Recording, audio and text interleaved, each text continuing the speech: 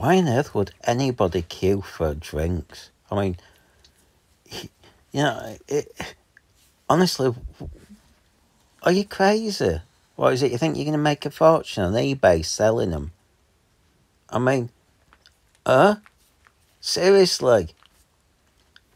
Oh, Jesus. I, I just going, I, I, I can't say anything. I mean, if you'd said people do this, I'd say, you're barking mad. No one's going to be that sad. What sort of sad people would do with this? I mean, seriously. Oh, God. You don't, have you got no pride or shame or anything? I mean, you know, it's like, what? Oh God! Well, you can understand now why people wore non-medical grade masks, and you know, believed all the lockdown nonsense. I mean, you know, they'll, they'll go along with anything these days, won't they? Uh, I bet they all think that they're individuals and that they make up decisions themselves. Yeah, right.